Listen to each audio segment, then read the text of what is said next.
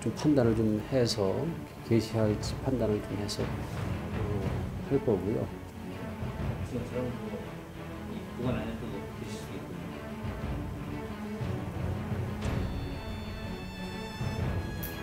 장 발전이나 물 유속이 좀 완화해지고 중단되면은 음.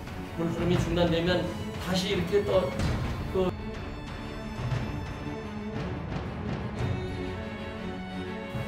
일상적 그 수상 안전 관리 예, 대책들 제가 만들어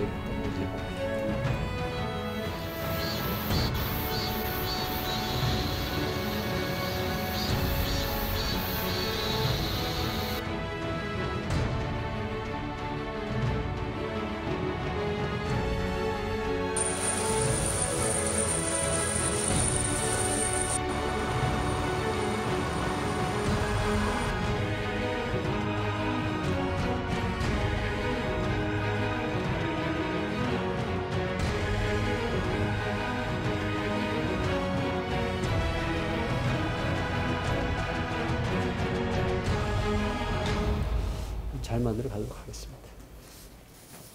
고맙습니다. 선생님 혹시 연휴 전에 그 브리핑 혹시 있나요?